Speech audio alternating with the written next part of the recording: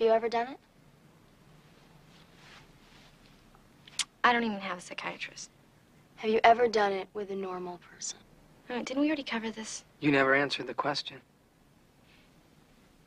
Look, I'm not going to discuss my private life with total strangers. It's kind of a double-edged sword, isn't it? A what? Well, if you say you haven't, you're a prude. If you say you have, you're a slut. It's a trap. You want to, but you can't. Then when you do, you wish you didn't, right? Wrong. Or are you a tease?